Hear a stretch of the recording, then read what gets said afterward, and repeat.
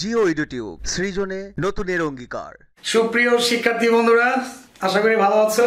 সবাইকে জিও এডিটিউবের পক্ষ থেকে আন্তরিক শুভেচ্ছা জানিয়ে শুরু করছি।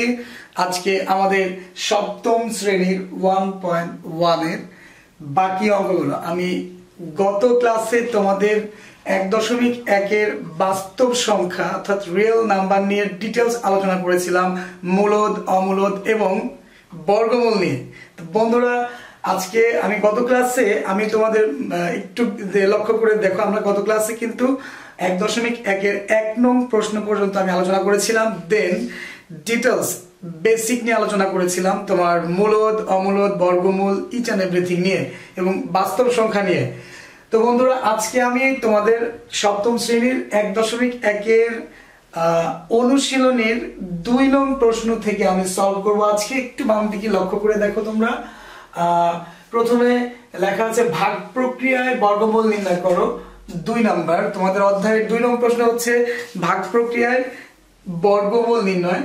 আর তিন নাম্বার আছে তিনের খ, চোদ্দশো সত্তরকে কোন ক্ষুদ্রতম সংখ্যা দ্বারা গুণ করলে গুণফল একটি পূর্ণবর্গ সংখ্যা হবে? এরপর চার নাম্বার বন্ধুরা লেখা আছে, একটু লক্ষ্য করে দেখো চার হাজার ছাপ্পান্নকে কোন ক্ষুদ্রতম সংখ্যা দ্বারা ভাগ করলে ভাগফল একটি পূর্ণবর্গ সংখ্যা হবে?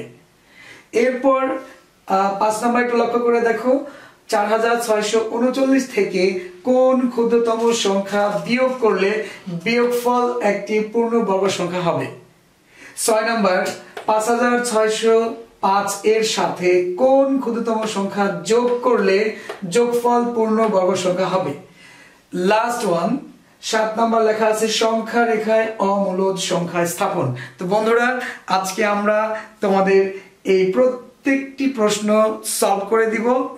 তোমাদের কাছে আমার একটি চাওয়া, সেটা হচ্ছে তোমরা যদি আজকের ক্লাসটি একটু ধৈর্য ধরে পুরো ভিডিওটা যদি তোমরা একটু মনোযোগ দিয়ে দেখো, আমার বিশ্বাস তোমার সপ্তম শ্রেণির এক দশমিক এক নিয়ে আর কোনো প্রবলেম থাকবে না ইনশাল্লাহ ওকে লেটস চলো আমরা এবার শুরু করে দিই।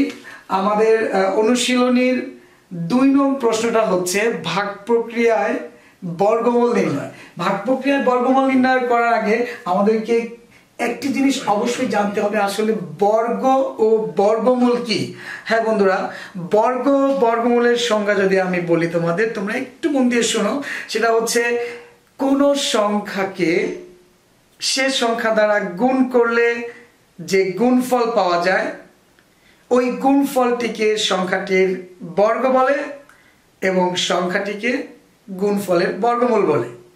বন্ধুরা, তার মানে তোমরা এখানে একটু লক্ষ্য করে দেখো বোর্ডের দিকে শূন্য এর বর্গ শূন্য স্কোয়ার ইকুয়ালস টু শূন্য গুণ শূন্য সমান শূন্য।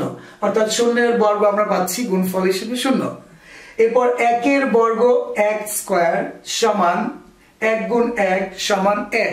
অর্থাৎ এক আর এক গুণ করলে এক পাওয়া যাচ্ছে। তো একের বর্গ এক এবং এই এক সংখ্যাটি হচ্ছে আমাদের বর্গমূল। কার বর্গমূল বন্ধুরা? আমি সংখ্যায় বলেছিলাম, গুণফলের বর্গমূল হচ্ছে সংখ্যাটি। অর্থাৎ একটি সংখ্যাকে ওই সংখ্যা দ্বারাই যদি তুমি গুণ করো, তুমি সংখ্যাটির বর্গ পাবে। অর্থাৎ গুণফলটি হবে বর্গ আর সংখ্যাটি হবে গুণফলের বর্গমূল। আমার বিশ্বাস, তোমরা এতক্ষণে বুঝে ফেলেছ বর্গ এবং বর্গমূল কি। হ্যাঁ বন্ধুরা, এরপরে দেখো, আমি শূন্য থেকে দশ পর্যন্ত সংখ্যাগুলোর বর্গ বের করে দিয়েছি। এই ডান দিকে যে গুণফলগুলো বের করেছি, এগুলোই হচ্ছে তোমার পূর্ণ বর্গ সংখ্যা। এগুলোই হচ্ছে তোমার পূর্ণ বর্গ সংখ্যা। তো বন্ধুরা, আমরা ইতিমধ্যেই বর্গ ও বর্গমূল কি, দেন বর্গ সংখ্যাগুলোই কিন্তু বর্গমূল হয়। বর্গ সংখ্যাগুলোই কিন্তু পূর্ণ বর্গ সংখ্যা। আমি আবার বলছি, বর্গ সংখ্যাগুলোই হচ্ছে পূর্ণ বর্গ সংখ্যা। হ্যাঁ দেখো আমি একটু ক্লোজ করছি দ্রুত। তিনের বর্গ তিন স্কোয়ার অর্থাৎ তিন গুণ তিন ইকুয়ালস টু নয়। এরপর চারের বর্গ চার স্কোয়ার অর্থাৎ চার গুণ চার সমান ষোলো। পাঁচের বর্গ পাঁচ স্কোয়ার সমান পাঁচ গুণ পাঁচ পঁচিশ, ছয়ের বর্গ ছয় স্কোয়ার, অর্থাৎ ছয় গুণ ছয় ছয় ছয়, ছত্রিশ, সাতের বর্গ সাত স্কোয়ার, অর্থাৎ সাত গুণ সাত সমান উনপঞ্চাশ সাত সাথে উনপঞ্চাশ আটের বর্গ আট স্কোয়ার, অর্থাৎ আট স্কোয়ার অর্থ হলো আট, গুণাকার আছে দুইবার, সো আট গুণ আট আট, আটা চৌষট্টি। নয়ের বর্গ নয় স্কোয়ার, অর্থাৎ নয় গুণ নয় সমান সমান নয় নয় একাশি। দশের বর্গ দশ স্কোয়ার, অর্থাৎ দশ গুণ দশ সমান সমান একশো। বন্ধুরা, তোমরা একটা জিনিস খুব ভালো করে মনে রাখবা, তোমাদের সপ্তম শ্রেণীতে অবশ্যই এক থেকে বিশ পর্যন্ত, কমপক্ষে বিশ পর্যন্ত বর্গ সংখ্যাগুলো তোমাদের জানতেই হবে। তোমরা এগুলো বারবার মাথায় আনবা, বারবার প্র্যাকটিস করবা, তবে বর্গমূলের চ্যাপ্টার তোমাদের পুরো ক্লিয়ার হয়ে যাবে। তো বন্ধুরা, এবার আমরা দেরি না করে আমরা আমাদের অনুশীলনের অধ্যায়ের দুই নং প্রশ্ন, ভাগ প্রক্রিয়া কীভাবে বর্গমূল নির্ণয় করা যায়, আমরা সেটা শিখব। তো চলো বন্ধুরা, এবার আমরা আমাদের দুই নং প্রশ্ন, অনুশীলনের দুই নং প্রশ্ন ছিল ভাগ প্রক্রিয়ায় বর্গমূল নির্ণয়। আমরা তোমার দুই নং প্রশ্নের ক, দুই নং প্রশ্নের ক হচ্ছে দুইশো পঁচিশ। সংখ্যাটিকে আমরা ভাগ প্রক্রিয়ায় বর্গমূল নির্ণয় করব। সো আমরা প্রথমেই লিখব এখন। এখন লিখে কমা দিব। এরপর আমরা দুইশো পঁচিশ আমরা যেভাবে ভাগ করি, ঠিক ওই ভাগের মতো করে আমরা সংখ্যাটি বর্গমূল বের করব। হ্যাঁ বন্ধুরা, একটু মনে করে দেখো আমরা যেমন ভাগ করি, ভাগ করার সময় নর্মালি বাম পাশে ভাগ চিহ্ন দিই বাট তুমি মনে রাখবা, বর্গমূল বের করতে হলে যেহেতু এখানে ভাজকটা নেই দ্যাটস ওয়াই আমাদেরকে ডান দিকে ভাগ চিহ্ন দিতে হবে প্রথমে। আমাদের প্রথমে ঠিক সংখ্যাটির ডান দিকে ভাগ চিহ্ন দিব। এরপর ডান দিক থেকে জোড়া করব, অর্থাৎ প্রতি দুইটি ডিজিটের উপরে আমরা দাগ দিয়ে জোড়া বানাবো। এরকম করতে করতে ডান দিক থেকে জোড়া বানাইতে বানাইতে একেবারে বাম দিকে চলে যাব। হ্যাঁ বাম দিকে যদি একটি সংখ্যার উপরে দাগ পড়ে, তোমাকে ওটি জোড়া ধরে নিতে হবে। বন্ধুরা, তাহলে এখানে আমরা দুই জোড়া সংখ্যা পেয়েছি। এবার ভাগ যেহেতু আমরা বাম দিক থেকে ভাগ করতে করতে ডান দিকে যাই, আমাদেরকে ওই নিয়মটাই এখানে মনে রাখতে হবে। আমরা জোড়া করব, ডান দিক থেকে জোড়া করতে করতে বামে যাব, আর ভাগ করব আগের মতোই। অর্থাৎ বাম দিক থেকে ভাগ করতে করতে ডান দিকে যাব। তো বন্ধুরা, চলো এবার আমরা ভাগ শুরু করে দিই। হ্যাঁ এখানে একটি নিয়ম আছে, সেটা হচ্ছে মনে রাখবা, আমি যখন প্রথম জোড়াটিকে ভাগ করব, তখন এই ভাগফলে আমি যে সংখ্যাটি নিব ঠিক তার বর্গ আমি এই প্রথম জোড়ার নিচে নামাবো। সাবধানতা হচ্ছে, তোমাকে অবশ্যই মনে রাখতে হবে, আমি ভাগফলে যে সংখ্যাটি নিব, তার বর্গ যেন প্রথম জোড়ার চেয়ে বড় না হয়ে যায়। বন্ধুরা, অবশ্যই বুঝতে পেরেছ? সো আমি যদি এখন ভাগফলে দুই নেই, তাহলে দুইয়ের বর্গ দুই দ্বিগুণে চার, আমি দুইয়ের নিচে যদি চার লিখি, অবশ্যই প্রথম জোড়া দুইয়ের চেয়ে কিন্তু বড় হয়ে গেছে। দ্যাটস ওয়াই দুই নেওয়া যাবে না। তো তাহলে আমি কত নিতে পারি? অবশ্যই ছোট নিতে হবে। আমাদের মাথায় রাখতে হবে কি, এই সংখ্যাটির চেয়ে যেন বড় না হয়। হ্যাঁ তাহলে কি হবে? হয় সমান নিতে হবে, না হয় এই দুইয়ের খুব কাছাকাছি সংখ্যা নিব। কাছাকাছি সংখ্যা নিব, অর্থাৎ ছোট নিব। হয় সমান, না হয় এই সংখ্যাটির চেয়ে ছোট নিতে হবে। এটাই আমাদের খেয়াল রাখতে হবে। সো বন্ধুরা, এবার আমরা এখানে ভাগফলে যদি এক নেই, একের বর্গ আমরা পাচ্ছি এক গুণ এক, অর্থাৎ এক, একে এক। এবার কিন্তু বন্ধুরা দেখতে পাচ্ছ, বড় হয়নি। সো এবার ওই যে ভাগের বেলায় আমরা ভাজ্যের নিচে যে সংখ্যাটি নামাই, তারপর কি করি বন্ধুরা? হুম, বিয়োগ করি। সো এখানে বিয়োগ করো, দুই থেকে এক বিয়োগ করলে এক। তারপর কি করি বন্ধুরা ভাগের বেলায় বলো তো? হ্যাঁ ভাগের বেলায় কিন্তু আমরা তারপরে বিয়োগ ফোটা নামানোর পর ডান দিক থেকে একটি সংখ্যা আমরা ধার করি। ধার করে ঠিক তার নিচে নামাই। এখানেও কিন্তু তাই। হ্যাঁ এখানে শুধু ব্যতিক্রম হচ্ছে, আমরা ভাগের বেলা যেমন একটি সংখ্যা ধার করে নামাই, আর বর্গ যেহেতু দুইটি মিলে বর্গ হয়, তাই এখানে জোড়া করা হয়েছে। এবার আমরা পুরো জোড়া ধরে ঠিক একের ডান পাশে নামাবো। বুঝতেই পারছ? এবার সংখ্যাটি হয়েছে একশো পঁচিশ। এবার আমরা বাম পাশে ভাগ চিহ্ন দিব, আর মনোযোগ দিয়ে শোনো। ভাগফলের যে সংখ্যাটি থাকবে, ঠিক তার দ্বিগুণ আমাদের এই ভাজ্যের জায়গায় নিতে হবে।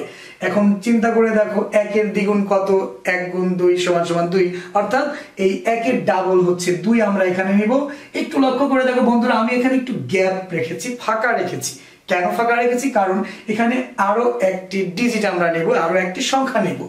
এবং এখানে যে সংখ্যাটি নিব, ধরো আমি যদি এখানে এক নেই তাহলে এই একটা চলে যাবে ভাগফলে এবং এই এক দ্বারা আবার এই গঠিত সংখ্যাটিকে গুণ করে আমরা ভাজ্যের নিচে নামাবো।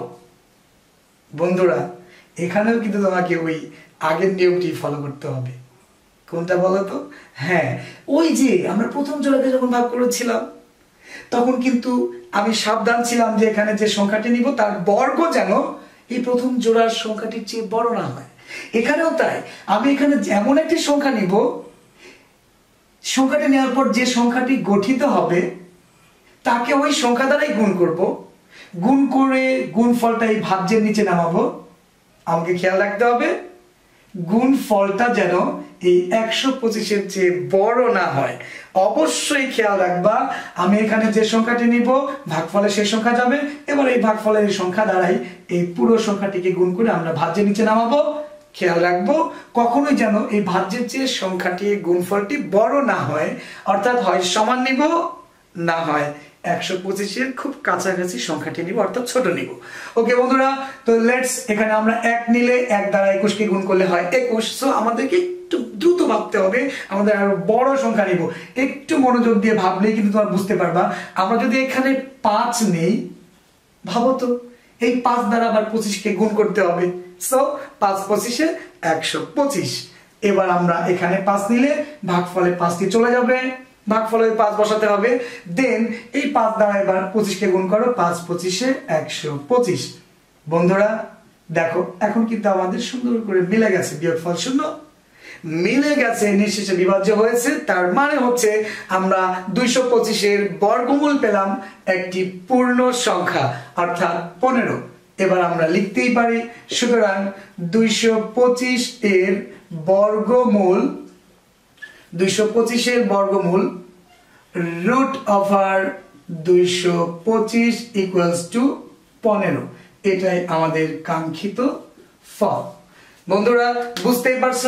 একেবারে সোজা। তোমাকে শুধু দুইটি কথা মনে রাখতে হবে। আমি আরও একটি প্রশ্ন সলভ করে দিলে আমার বিশ্বাস তোমাদের সময় নষ্ট হবে না।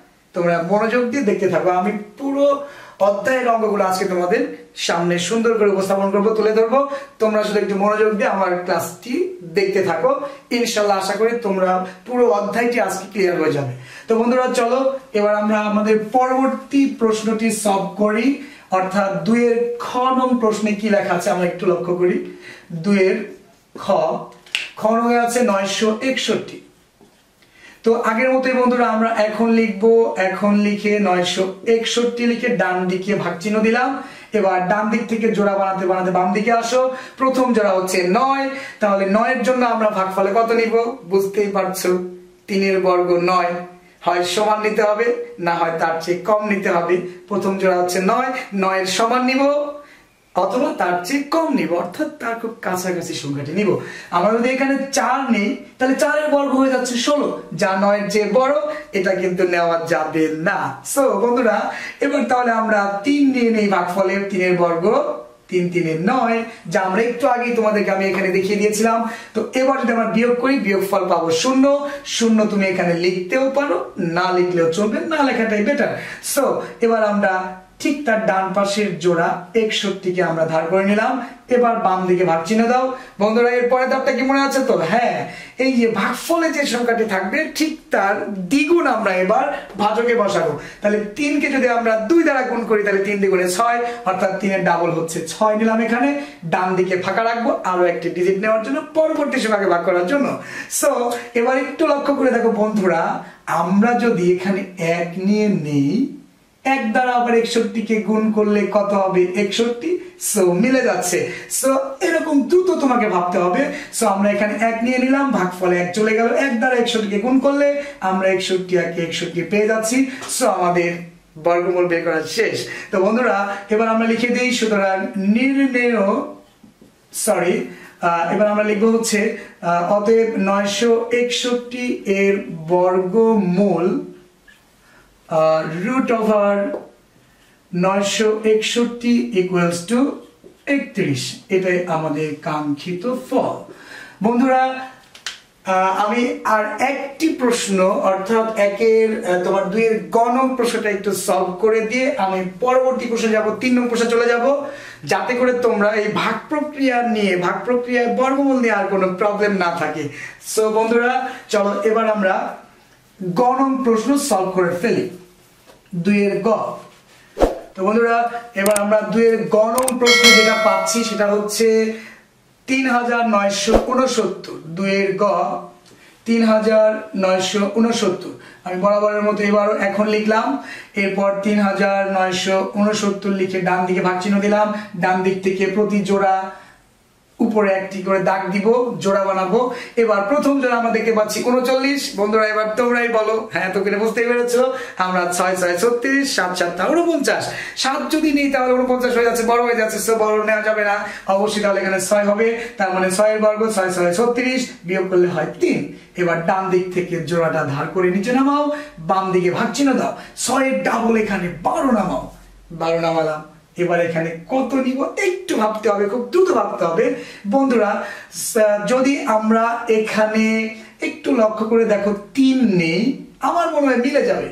কারণ দুই নিলে একশো চুয়াল্লিশ হবে, আর যদি আমরা তিন নেই, তাহলে তিন তেইশে, দেখো, তিন তেইশে কিন্তু উনসত্তর হয়, আর এক তিনটা একশোতে একশো। সো আমরা যদি এখানে তিন নেই, ভাগফলে তিন চলে গেল। এবার তিন দ্বারা এটাকে গুণ করে দেখো, মিলে যাবে। তিন তিনে নয় তিন দ্বিগুণে ছয়, তিন একে তিন। সো বন্ধুরা, তোমরাও এভাবে একটু দ্রুত চিন্তা করবা, দেখবা তোমার মাথায় এসে ঠাস করে বাড়ি মারবে যে এটা তিনবার নিতে হবে। সো আমাদের কিন্তু বর্গমূলটা করা শেষ। এবার আমরা ডিসিশনে আসতে পারি যে অতএব তিন হাজার নয়শো উনসত্তর এর বর্গমূল রুট ওভার তিন হাজার নয়শো উনসত্তর ইকুয়ালস টু তেষট্টি। এটাই আমাদের আনসার সো বন্ধুরা, আশা করি তোমরা বুঝতে পেরেছ ভাগ প্রক্রিয়ায় কীভাবে তোমরা বর্গমূল নির্ণয় করবে। তোমরা এটা শুধু দেখবে না, নিজে এবার যখন প্র্যাকটিস করবে, একেবারে পুরো বেসিক ক্লিয়ার হয়ে যাবে তোমার, পুরো বিষয়টা ক্লিয়ার হয়ে যাবে। এবার আমরা যাব হচ্ছে, বন্ধুরা, আমাদের তিন নং প্রশ্নে। তিন নং প্রশ্নের যে খ নং প্রশ্নটা আছে, আমরা সেটা সলভ করব।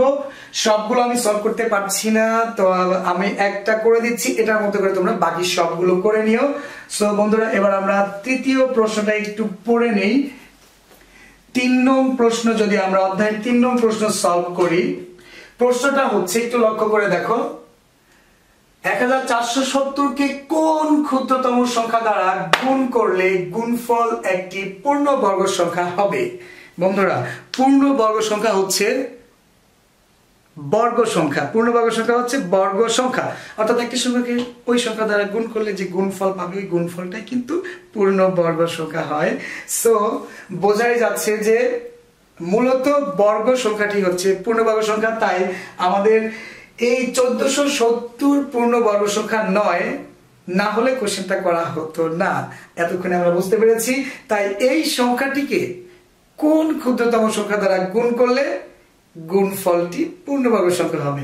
সো এইটা করার পদ্ধতি হচ্ছে তোমরা এক নং প্রশ্নে যে উৎপাদকের সাহায্যে তোমরা বর্গমূল নির্ণয় করেছিলে হ্যাঁ এতক্ষণে মনে পড়েছে, উৎপাদকের সাহায্যে বর্গমূল নির্ণয় হচ্ছে সংখ্যাটিকে তোমরা শুধুমাত্র মৌলিক সংখ্যা দ্বারা ভাগ করবে যতক্ষণ পর্যন্ত ভাগ করা যায়। এরপর সংখ্যাগুলোকে আমরা, আমি করে দেখাচ্ছি। এর প্রথম ধাপ হচ্ছে সংখ্যাটিকে আমরা মৌলিক উৎপাদকের সাহায্যে বর্গমূল নির্ণয় করব। এর পরবর্তী ধাপগুলো আস্তে তোমরা বুঝতেই পারবা। প্রথমে আমরা সংখ্যাটিকে মৌলিক উৎপাদকের সাহায্যে বর্গমূল নির্ণয় করব। অর্থাৎ এখন লিখে চার সরি এখন লিখে এক হাজার চারশো সত্তরকে আমরা শুধুমাত্র মৌলিক গুণনীয়ক অর্থাৎ শুধুমাত্র মৌলিক সংখ্যাগুলো দ্বারা ভাগ করব। অর্থাৎ ক্ষুদ্রতম মৌলিক সংখ্যা তোমরা জানো দুই। প্রথমে দুই দ্বারা ভাগ করব। যতক্ষণ পর্যন্ত দুই দ্বারা ভাগ করা যাবে, ততক্ষণ পর্যন্ত তোমাকে দুই দিয়েই ভাগ করতে হবে। সো দুই দ্বারা যদি আমি চোদ্দকে ভাগ করি দুটি সংখ্যা প্রথম ডিজিট তো সাত দ্বিগুণে চোদ্দ মিলে গেছে সাত কাটলে তিন দ্বিগুণে ছয়, এরপর একের ডানে শূন্য কাটলে পাঁচ দ্বিগুণে দশ। বন্ধুরা এবার কিন্তু এটা বিজোড় সংখ্যা, এবার কিন্তু তোমার দুই দ্বারা ভাগ করা যাচ্ছে না। একটু লক্ষ্য করে দেখি আমরা সাত, তিনে দশ আর পাঁচ, পনেরো, অর্থাৎ অঙ্কগুলোর যোগফল পনেরো, এটাকে তিন দ্বারা ভাগ করলে মিলে যায় দ্যাটস এই সংখ্যাটিকে তিন দ্বারা ভাগ করলে মিলবে। অর্থাৎ কোন সংখ্যার অঙ্কগুলোর যোগফলকে যদি তুমি তিন দ্বারা ভাগ করলে নিঃশেষে বিভাজ্য হয়, তাহলে তোমাকে বুঝতে হবে সেই সংখ্যাটিও কিন্তু তিন দ্বারা বিভাজ্য। তো বন্ধুরা, এবার আমরা তিন দ্বারা ভাগ করে ফেলে। দেখো, তিন দ্বারা সাতকে ভাগ করলে তিন দ্বিগুণে ছয় বাঁচবে এক, একের ডানে তিন কাটলে তেরো তেরোকে তিন দ্বারা ভাগ করব মানে তিন, চারে বারো বাঁচবে এক। একের ডানে আবার যদি আমরা পাঁচ ধার করে নামাই, তাহলে হবে পনেরো। তাহলে তিন দ্বারা পনেরোকে ভাগ করো, তিন পাঁচে পনেরো। এবার আমরা আবার লক্ষ্য করি, এটাও বিজোড় সংখ্যা দুই দ্বারা ভাগ করে, তিন দ্বারা ভাগ করা জায়গায় দেখব আমরা চার আর দুই যোগ করলে কত হয়? ছয়। ছয় আর পাঁচে এগারো। বন্ধুরা, এবার কিন্তু আর তিন দ্বারা ভাগ করা যাচ্ছে না, কারণ এগারো তিন দ্বারা বিভাজ্য নয়। সো বন্ধুরা, এবার আমরা পাঁচ দিয়ে ভাগ করব। কারণ সংখ্যাটিকে পাঁচ দ্বারা ভাগ করলে মিলবে। কেমনে বুঝছি বন্ধুরা বলো তো? কারণ কোন সংখ্যার একক স্থানীয় অঙ্কটি যদি শূন্য অথবা পাঁচ হয়, তাহলে কিন্তু ওই সংখ্যাটি পাঁচ দ্বারা বিভাজ্য হয়। সো এবার আমরা পাঁচ দ্বারা ভাগ করে ফেলি। প্রথমে চব্বিশকে যদি আমরা পাঁচ দ্বারা ভাগ করি, তাহলে চার, পাঁচা বিশ, পাঁচ, পাঁচে পঁচিশ। সো প্রথমে যাবে চারবার বাঁচলো কত? চার বিয়োগ করে, তারপর চারের ডানে যদি আমরা পাঁচ দাঁড় করে নেওয়া হবে পঁয়তাল্লিশ। এবার পাঁচ দ্বারা পঁয়তাল্লিশকে ভাগ করলে পাঁচ, নয়। পঁয়তাল্লিশ। এবার বন্ধুরা লক্ষ্য করতে পারতেছি যে মানে পাঁচ দ্বারা যাবে না। কিন্তু মৌলিক সংখ্যা পাঁচের পরে সাত। সাত দ্বারা ভাগ করলে সাত সাতটা উনপঞ্চাশ। সো দেখো, বন্ধুরা, যখনই তুমি নিচে একটি মৌলিক সংখ্যা পাবে, তোমার মৌলিক উৎপাদকের সাহায্যে ভাগ করাটা শেষ করে ফেলবে। নিচে সাত একটি নিজেই মৌলিক সংখ্যা দ্যাটস হয় আমাদের ভাগ করা শেষ। এবার আমরা কি করব? দ্বিতীয় ধাপে যে আমরা প্রত্যেকটা মৌলিক গুণনীয়কের গুণ ফলাকারে প্রকাশ করব সংখ্যাটিকে। অর্থাৎ পৃথিবীর যত সংখ্যা আছে সবগুলো সংখ্যা কিন্তু একাধিক মৌলিক সংখ্যা এর গুণফল নিয়ে গঠিত হয়েছে। পৃথিবীর সকল যৌগিক সংখ্যা।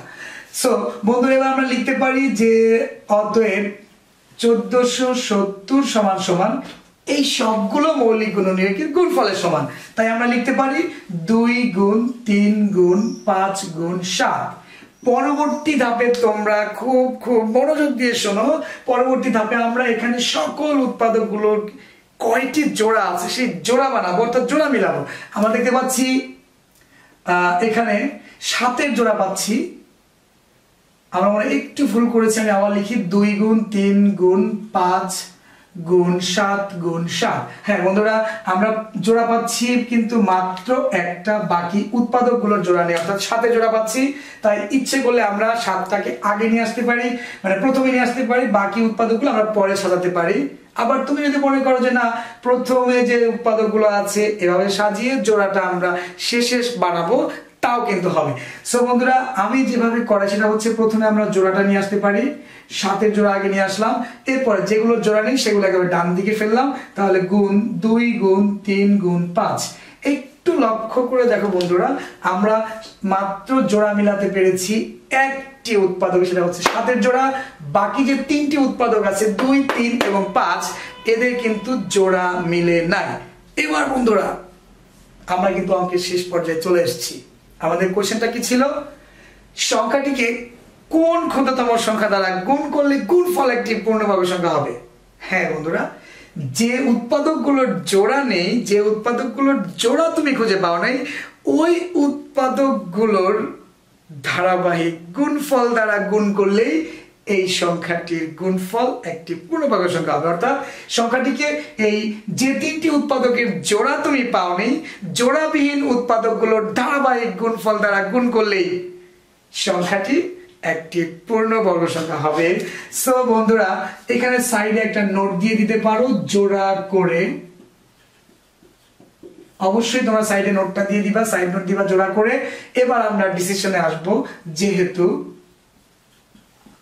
উৎপাদক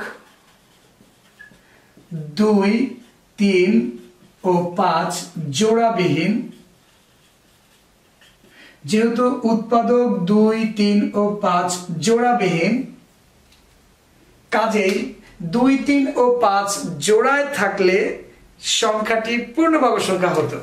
এখানে আমরা লিখব কাজেই উৎপাদক দুই, তিন ও পাঁচ জোড়ায় থাকলে সংখ্যাটি পূর্ণবর্গ সংখ্যা হতো। সংখ্যাটি পূর্ণ বর্গ সংখ্যা হতো। তাহলে যেহেতু জোড়ায় থাকলে পূর্ণবর্গ সংখ্যা হতো, বুঝতেই পারছ তার মানে হচ্ছে, জোড়া বানানোর জন্য আমার আরও একটা দুই লাগবে, আরও একটা তিন লাগবে, আরও একটা পাঁচ লাগবে। দ্যাটস ওয়াই সংখ্যাটিকে এই দুই, তিন এবং পাঁচের ধারাবাহিক গুণফল দ্বারা গুণ করলেই কিন্তু সংখ্যাটি একটি পূর্ণ বর্গ সংখ্যা হবে। সো এবার আমরা ডিসিশনে চলে আসি যে অতএব প্রদত্ত সংখ্যাটিকে, অতএব প্রদত্ত সংখ্যাটিকে দুই গুণ তিন গুণ পাঁচ সমান সমান তিন দুগুণে ছয়, পাঁচ ছয়, তিরিশ। অর্থাৎ তিরিশ দ্বারা গুণ করলে গুণফল পূর্ণ বর্গ সংখ্যা হবে।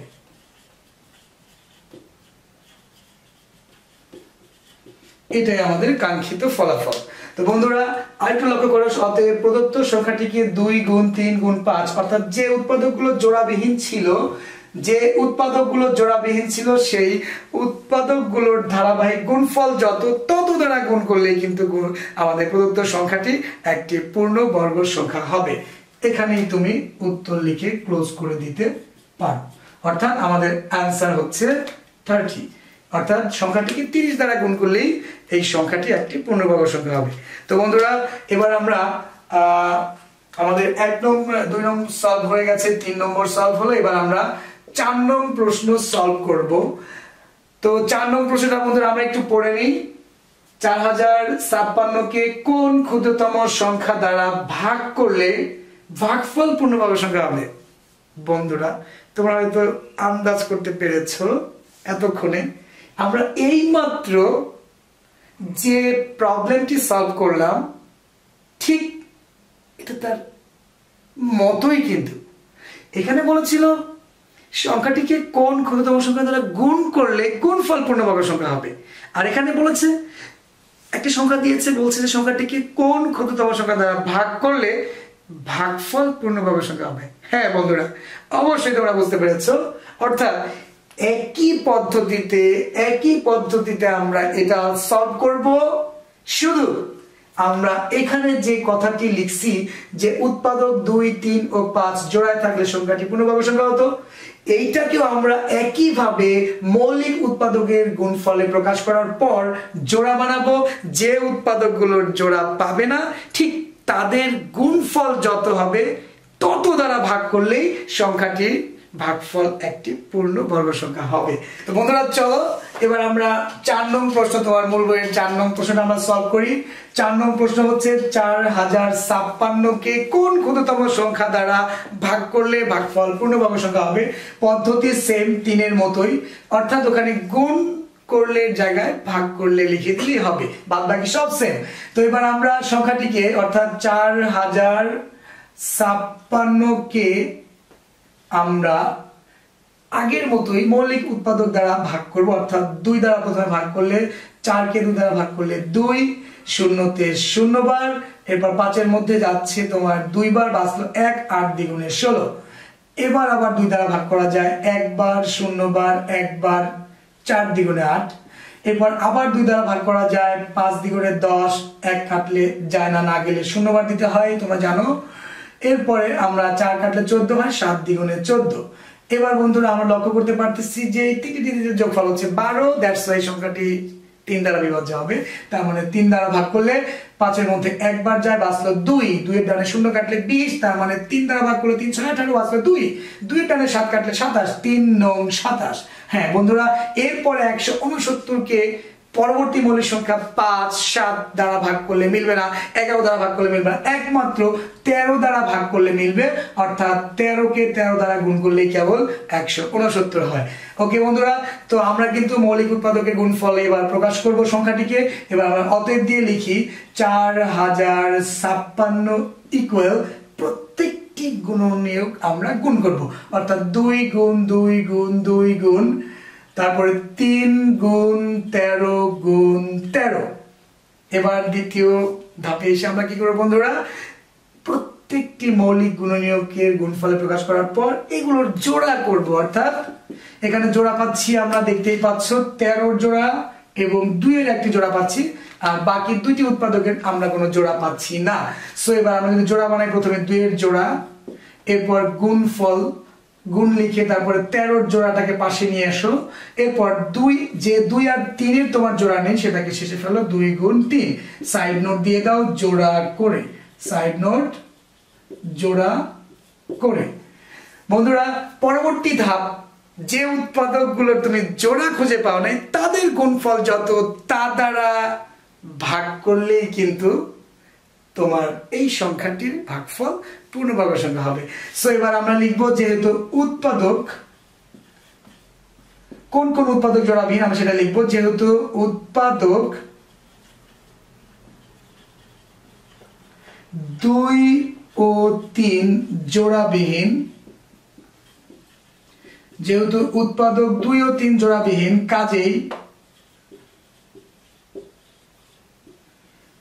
উৎপাদক দুই ও তিন জোড়ায় থাকলে সংখ্যাটি পূর্ণ বর্গ সংখ্যা হতো। কাজেই উৎপাদক দুই ও তিন জোড়ায় থাকলে সংখ্যাটি পূর্ণ বর্গ সংখ্যা হতো। সংখ্যাটি পূর্ণ বর্গ সংখ্যা হতো। পূর্ণ বর্গ সংখ্যা হতো। এবার কিন্তু আমরা ডিসিশন দিতেই পারি। সো যে উৎপাদকগুলো তুমি জোড়া পাওনি, ঠিক ওই উৎপাদকগুলোর ধারাবাহিক গুণফল যত হবে, তা দ্বারা ভাগ করলে সংখ্যাটি পূর্ণভাবে সংখ্যা হবে। সো এবার ডিসিশন দিয়ে দাও। অতএব প্রদত্ত সংখ্যাটিকে প্রদত্ত সংখ্যাটিকে প্রদত্ত সংখ্যাটিকে দুই গুণ তিন সমান ছয় দ্বারা ভাগ করলে ভাগফল পূর্ণ বর্গ সংখ্যা হবে। ছয় দ্বারা ভাগ করলে ভাগফল পূর্ণ বর্গ সংখ্যা হবে। আমাদের কিন্তু আমরা কাঙ্ক্ষিত লক্ষ্যে পৌঁছে গেছি। সো আমাদের নির্ণয় সেই ক্ষুদ্রতম সংখ্যাটি হচ্ছে ছয়। তো তুমি এখানে কনসেপ্টটা ক্লিয়ার করে দিতে পারো যে অতএব নির্ণয় ক্ষুদ্রতম সংখ্যা ছয়। নির্ণয় ক্ষুদ্রতম সংখ্যা ছয়। এরপরে তুমি উত্তর লিখে ক্লোজ করতে পারো। ঠিক আগেরটাতেও তুমি ওভাবেই ক্লোজ করতে পারো যে নির্ণয় ক্ষুদ্রতম সংখ্যা এত, অর্থাৎ গুণের ক্ষেত্রেও। তো বন্ধুরা, আমরা চার নং প্রশ্নটা সলভ করলাম। এবার আমাদের পাঁচ নং কোশ্চেন বলা হয়েছে চার হাজার ছয়শো উনচল্লিশ থেকে কোন ক্ষুদ্রতম সংখ্যা বিয়োগ করলে সংখ্যা হবে? বন্ধুরা আমরা যে দুটি প্রবলেম এখানে ছিল গুণ করলে পূর্ণবর্গ সংখ্যা হবে, তারপরে বলেছিল ভাগ করলে ভাগফল পূর্ণবর্গ সংখ্যা হবে, আর এখানে আমরা দেখতে পাচ্ছি এত থেকে কোন ক্ষুদ্রতম সংখ্যা বিয়োগ করলে বিয়োগফল পূর্ণবর্গ সংখ্যা হবে? হ্যাঁ অবশ্যই এখানে একটু ব্যতিক্রম নিয়ম আছে। সেটা হচ্ছে কি, গুণ আর ভাগের ক্ষেত্রে আমরা কি করেছি? উৎপাদকের সাহায্যে বর্গমূল নির্ণয় করেছি। আর তোমরা ট্রিক্স হিসেবে মাথায় রাখবা, যোগ এবং বিয়োগের কথা যদি বলা হয়, যে এত এর সাথে কোন ক্ষুদ্রতম সংখ্যা যোগ করলে, অথবা যদি বলে এত এর সাথে কোন ক্ষুদ্রতম সংখ্যা বিয়োগ করলে, বিয়োগ ফল পূর্ণবর্গ সংখ্যা হবে। দ্যাটস ওয়াই আমরা এক্ষেত্রে যাব। গুণ আর ভাগ বললে কি বলেছি বন্ধুরা বলো তো? উৎপাদকের সাহায্যে বর্গমূল নির্ণয় করে তারপরে আমরা বাকি সলটুকু করব। এরপর হচ্ছে যোগ আর বিয়োগের কথা বললে মাথায় রাখবা ট্রিক্স হিসেবে। অবশ্যই যোগ আর বিয়োগের কথা প্রশ্ন থাকলে কি করতে হবে? ভাগ প্রক্রিয়ায় বর্গমূল নির্ণয় করবে, যা আমরা দুই নং প্রশ্নে একটু আগে সলভ করে এসেছি। সো এটা আমাদের এখন কাজে দিবে। তো আমরা বন্ধুরা দেরি না করে আমরা পাঁচ নং প্রশ্নটা সলভ করি। আমি কিন্তু বলে দিয়েছি কোন ক্ষুদ্রতম সংখ্যা দ্বারা যোগ করলে অথবা বিয়োগ করলে এই দুটি কথা উল্লেখ থাকলে তোমরা অবশ্যই ভাগ প্রক্রিয়ায় বর্গমূল নির্ণয় করবে। তারপরে আমরা পরের স্টেজে কি করতে হবে সেটা এখনই দেখতে পারবে। সো প্রথমে আমাদের এখন লিখে ভাগ প্রক্রিয়ায় বর্গমূল নির্ণয় করব। সংখ্যাটি হচ্ছে চার হাজার ছয়শো উনচল্লিশ। বন্ধুরা, অবশ্যই মনে আছে নিশ্চয়ই ডান দিকে ভাগ চিহ্ন দিয়ে ডান দিক থেকে জোড়া বানাবো। এবার বাম দিক থেকে ভাগ করতে করতে ডানে যাব। সো ছেচল্লিশ। দাম করে মাথায় চলে এসছে না বন্ধুরা? হ্যাঁ সাত সাত দাম পঞ্চাশ। সাত বার নেওয়া যাবে না ভাগ ফলে। সো ভাগ ফলে নিতে হবে ছয়। তার মানে ছয়ের বর্গ হচ্ছে ছত্রিশ এবার বিয়োগ করে শূন্য, এক। দশ বাঁচলো। এবার ডান দিক থেকে জোড়াটা আমরা নিচে নামালাম, ধার করলাম। এবার বাম পাশে ভাগ চিহ্ন মনে আছে নিশ্চয়ই, ছয়ের ডাবল নিতে হবে, এখানে তাহলে ছয়ের ডাবল হচ্ছে বারো, অর্থাৎ ছয়ের দ্বিগুণ বারো। এখানে গ্যাপ রেখেছি আরেকটি ডিজিট নেওয়ার জন্য। এখানে যা নিব, নেওয়ার পর যা হবে তাকে ওই সংখ্যা দ্বারাই গুণ করতে হবে। গুণ করলে যেন এই ভাজ্যের চেয়ে বড় না হয় হয় সমান নিব আমরা, না হয় সংখ্যাটির কাছাকাছি কোনো সংখ্যা নিব। ওকে বন্ধুরা, এবার একটু গভীরভাবে মনোযোগ দেওয়া এখানে যদি আমরা একটা ডিজিট নেই একশো আরও সামথিং একটি সংখ্যা পাচ্ছি, অর্থাৎ একশো বিশের উপরে সংখ্যা পাচ্ছি। যদি আমরা এখানে আটবার নেই, আমার মনে হয় মিলে যাওয়ার একটা সম্ভাবনা আছে। সো সাতবার তুমি হিসেব করে দেখতে পারো ছয় বার হিসেব করে দেখতে পারো। তো ওই যে ছয় বিশে একশো বিশ ছয় বার নিলে তাহলে সাতশো সামথিং হয়। কিন্তু এটা এক হাজারের উপরে। সো আমরা আটবার নিলে আট বিশে আবার দুইশো হয়ে যায়, তোমরা দুইশো কাছাকাছি হয়। তোমরা নিশ্চয়ই জানো। তার মানে আটবার নিলে আমার মনে হয় খুব সুন্দর করে মিলে যেতে পারে। সো আমরা যদি এখানে আট নেই ভাগ ফলে চলে গেল আট আট দ্বারা আবার পুরো ভাজকটাকে এবার গুণ করে ভাজ্যের নিচে নামাবো। সো আট আটা চৌষট্টি চার, হাতে থাকে ছয়। আট দ্বিগুণে ষোলো আর ছয় বাইশে দুই, হাতে দুই, এরপর আটাকে আট দুয়ে দশ। হুম, বন্ধুরা, আমাদের সংখ্যাটি বড় হয়নি, ছোটই আছে এবং সমান হয়নি। সো এবার আমরা বিয়োগ করে দেখি, নয় থেকে চার বাদ দিলে পাঁচ, তিন থেকে দুই বিয়োগ করলে এক। শূন্য শূন্য, এক এক মিলে গেছে আমরা দেখতে পাচ্ছি, বর্গমূল বের হয়েছে, আটষট্টি বাট এটা অসমাপ্ত রয়ে গেছে। এটার বর্গমূল একটি পূর্ণ সংখ্যা হয়নি, কারণ এটার ভাগশেষ রয়েছে, এটা নিঃশেষে বিভাজ্য হয়নি। বন্ধুরা, তোমরা অবশ্যই মনে রাখবা, যদি নিঃশেষে বিভাজ্য হতো, তাহলে এই সংখ্যাটি পূর্ণ বর্গ সংখ্যা হতো। বাট এটা ভাগশেষ আমরা পেয়ে গেছি পনেরো, তার মানে এটার বর্গমূল আটষট্টি দশমিক সামথিং। যে সংখ্যাটি পূর্ণবর্গ সংখ্যা নয় তোমরা আমার প্রথম ক্লাসে জেনেছ, সেই সংখ্যাগুলোর বর্গমূল কিন্তু অবলদ সংখ্যা হয়। তাই এই সংখ্যাটির বর্গমূল আমরা পাবো একটি অবলদ সংখ্যা, অর্থাৎ দশমিকের ডানে তুমি এলোমেলো ভাবে অসীম অনাবৃত সংখ্যা পাবে। যা গুণে শেষ করতে পারবে না দ্যাটস ওয়াই এই সংখ্যাটি পূর্ণবর্গ সংখ্যা নয়। যে কারণে এই সংখ্যাটির বর্গমূল দশমিকে প্রকাশ হবে, কোনো পূর্ণ সংখ্যা পাবে না। আর দশমিকের ডানে তুমি পাবে অসীম অনাবৃত সংখ্যা, অর্থাৎ এলোমেলো ভাবে কেমন পর্যন্ত তুমি সংখ্যা পাবে গুণে শেষ করতে পারবে না। দ্যাটস ওয়াই এই সংখ্যাটির বর্গমূল হচ্ছে একটি অমূলদ সংখ্যা। হ্যাঁ বন্ধুরা সো এবার আমাদের পরবর্তী ধাপ। যেহেতু ভাগশেষ পনেরো, তাই আমরা বুঝতে পারলাম সংখ্যাটি পূর্ণ বর্গ সংখ্যা নয়। যদি নিশ্চিত বিভাজ্য হতো, তাহলে সংখ্যাটি পূর্ণ বর্গ সংখ্যা হতো। এ কারণে তোমাকে বলেছিল যে এই সংখ্যাটি সংখ্যাটি থেকে কত বিয়োগ করলে বিয়োগ ফলটি পূর্ণবর্গ সংখ্যা হবে? এতক্ষণে কিন্তু ধরতেই পেরেছ। যার কারণে নিঃশেষে বিভাজ্য হয়নি, তাকে সরিয়ে দাও। তাকে সাইড করে দাও। তাই তো ঝামেলা ক্লিয়ার যে মিস্টার ঝামেলার কারণে আমরা এটাকে পূর্ণ বর্ণ করতে পারি নাই, নিঃশেষে বিভাজ্য করতে পারি নাই, উচ্ছিষ্ট অংশটুকু আমরা সরিয়ে দিই। তারপরে কিন্তু নিঃশেষ বিভাজ্য হয়ে যাবে। অর্থাৎ সংখ্যাটা থেকে পনেরো বিয়োগ করে দাও। ওই বিয়োগ ফলটা কিন্তু নিঃশেষে বিভাজ্য দ্যাটস তখন কিন্তু সংখ্যাটি পূর্ণবর্গ সংখ্যা হবে। আশা করি বুঝতে পেরেছ? তাই এবার আমাদের পরবর্তী ধাপ হচ্ছে, যেহেতু ভাগশেষ পনেরো সেমিকোলন দিয়ে ডান পাশে লিখে দাও। সুতরাং সংখ্যাটি পূর্ণ বর্গ সংখ্যা নয়। সংখ্যাটি পূর্ণ বর্গ সংখ্যা নয়। তাহলে কি করব আমরা? যার কারণে নিঃশ্ব বিভাজ্য হয়নি, তাকে বিদায় করে দাও, তাকে সরিয়ে দাও। এবার আমরা কি করব? অতএব সংখ্যাটি থেকে পনেরো বিয়োগ করলেই বিয়োগ ফল পূর্ণবর্গ সংখ্যা হবে। কাজে বা সুতরাং সংখ্যাটি থেকে পনেরো বিয়োগ করলে বিয়োগ ফল পূর্ণ বর্গ সংখ্যা হবে। বিয়োগ ফল পূর্ণ বর্গ সংখ্যা হবে। নির্ণেয় ক্ষুদ্রতম সংখ্যা, এবার অতএব দিয়ে লেখো, নির্ণেয় ক্ষুদ্রতম সংখ্যা পনেরো। নির্ণেয় ক্ষুদ্রতম সংখ্যা পনেরো। অর্থাৎ পনেরো যদি আমরা সংখ্যা থেকে বিয়োগ করে দিই, আমরা যে বিয়োগ ফলটি পাবো, সেটি হচ্ছে একটি পূর্ণ বর্গ সংখ্যা হবে। ওকে তোমরা এটা প্রুভ করার জন্য তোমরা একটু প্র্যাকটিস করে দেখো। যে বিয়োগ করার পর যে বিয়োগ ফলটি পাবা, সেটা কিন্তু নিশ্চয়ই বিভাজ্য হবে এবং ওটা একটি পূর্ণবর্গ সংখ্যা।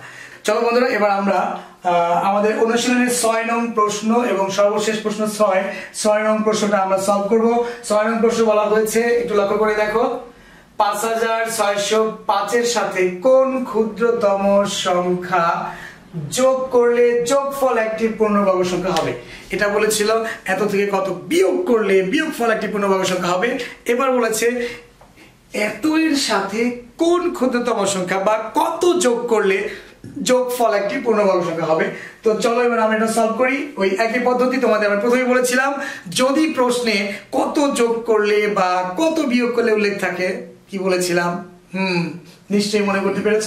ভাগ প্রক্রিয়ায় বর্গমূল নির্ণয় করতে হবে। সো আমরা শুরু করে দেই সংখ্যাটিকে, ভাগ প্রক্রিয়ায় বর্গমূল বের করে ফেলি। সংখ্যাটি হচ্ছে পাঁচ হাজার ছয়শো পাঁচ। ডান দিকে ভাগ চিহ্ন ডান দিক থেকে জোড়া করে বাম দিকে আসলাম। এবার প্রথম জোড়াকে ভাগ করব, ছাপ্পান্ন। বুঝতেই পারছ, সাত সাথে উনপঞ্চাশ আট আটা চৌষট্টি। সো ভাগ ফলে আট নেওয়া যাবে না।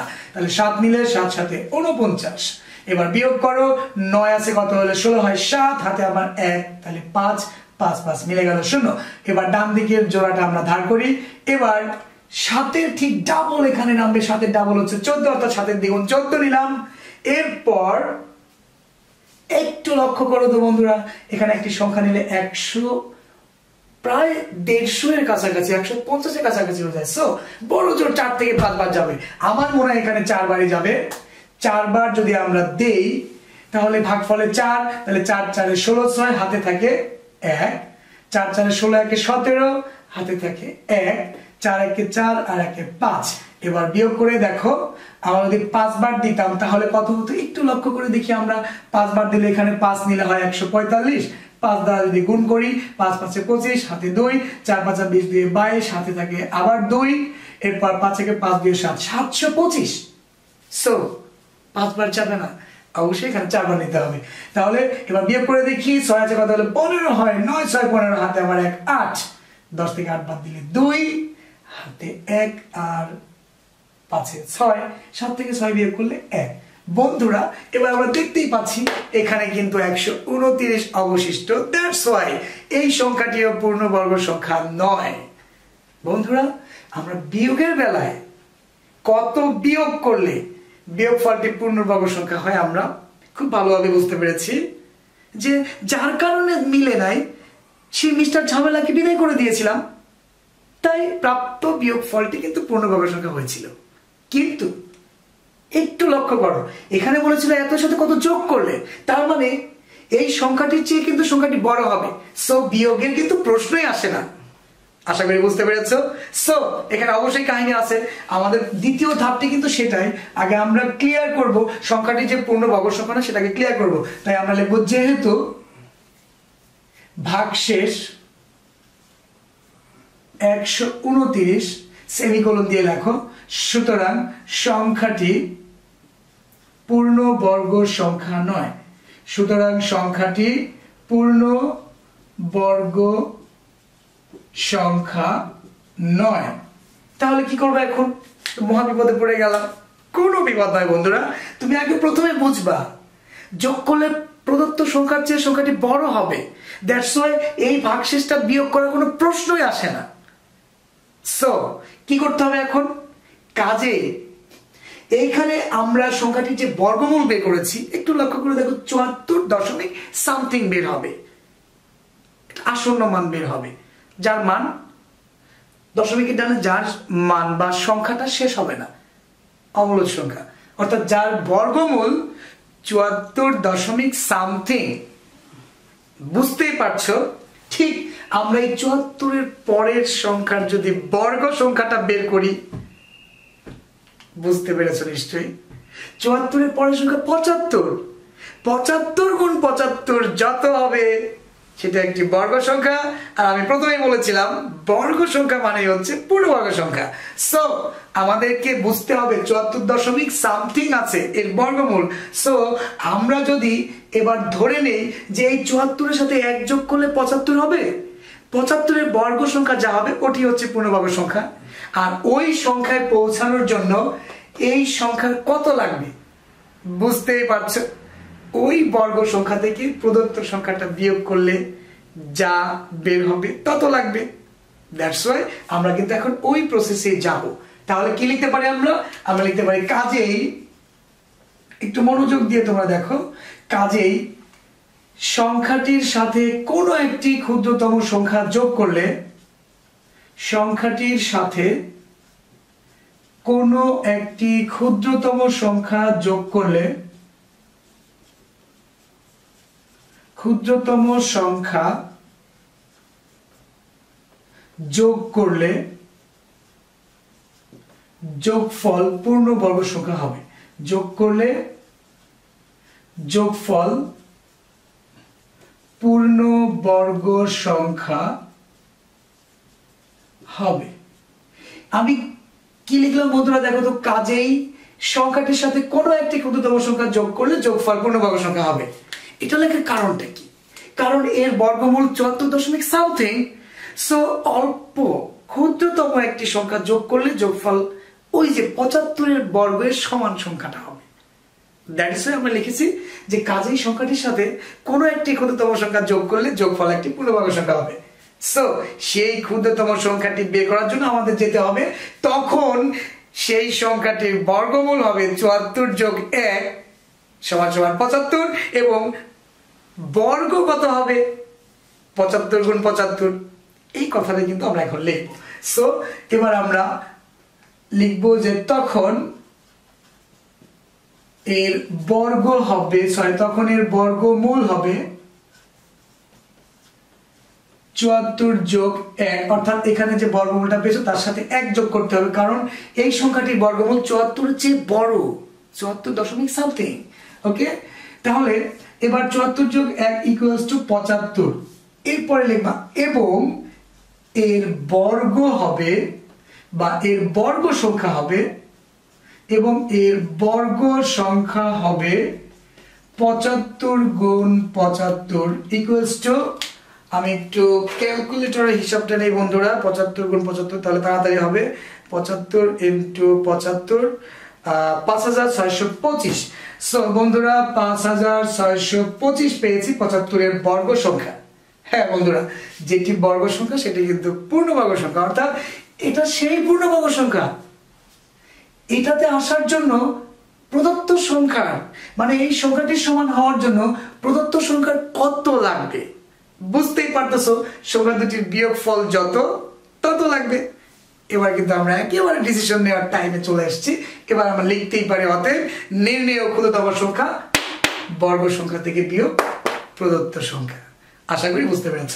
এবার লিখে দাও, অতএব নির্ণয় ক্ষুদ্রতম সংখ্যা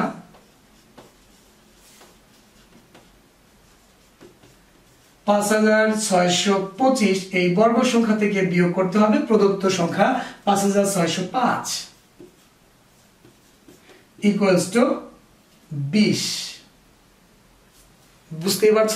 আমাদের এই বর্গ সংখ্যায় আসার জন্য এই সংখ্যাটির সাথে বিশ যোগ করলেই আমি এই সংখ্যাটা পাবো, যা একটি পূর্ণ বর্গ সংখ্যা। এটি সেই ক্ষুদ্রতম সংখ্যা। এটাই আমাদের আনসার তো বন্ধুরা, আমরা ক্লাসের একেবারে শেষ পর্যায়ে চলে এসেছি। আমি তোমাদের এক দশমিক একের একেবারে দুই থেকে ছয় পর্যন্ত প্রত্যেকটি অঙ্ক সলভ করে দিলাম। আর পরবর্তী ক্লাসে আমি এক দশমিক দুই এর অধ্যায় ভিত্তিক যে অঙ্কগুলো আছে, সবগুলো অঙ্ক ধারাবাহিকভাবে পর্ব পর্ব করে শেষ করব। তোমরা জিও এডুটিউবের সাথেই থেকো।